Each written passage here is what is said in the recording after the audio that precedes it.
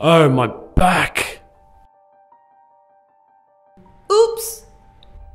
When you think of the hazards healthcare workers face every day performing either major or often even simple tasks in awkward or narrow spaces, it is no surprise to know that the healthcare industry is a high risk industry for musculoskeletal disorders, or MSDs, including slips, trips, and falls. Hello, I'm Dr. Catherine Murphy, and I'd like to share with you some of the hard facts on the strain ergonomic related injuries have on our profession.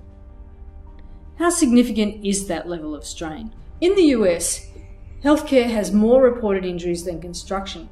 In fact, the reported rate of ergonomic injury in the US is almost 8 nurses per 100 full time equivalent healthcare workers.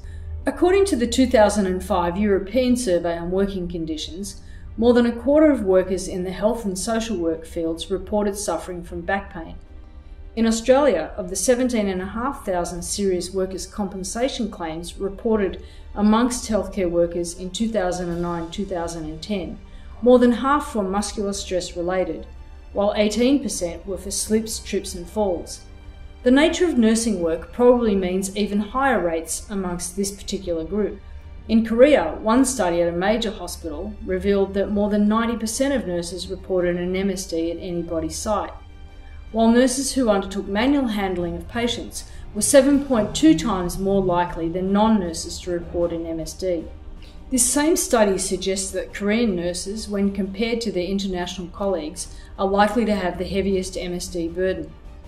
Although it is important to appreciate that globally, MSDs among nurses range from 72% to 94%, with more than a third of all nurses reporting lower back pain, regardless of their country. Clearly, whether ergonomic injuries are a result of lifting and handling patients, overexertion, standing in one spot for too long in the OR, tripping over cords on the floor, or even slipping on wet floors during high fluid loss surgery. The strain on our industry is felt all around the world. MSDs impact both the healthcare worker and their hospitals. Even patients are inadvertently affected. Undoubtedly, the human, financial, organisational, and individual costs are substantial.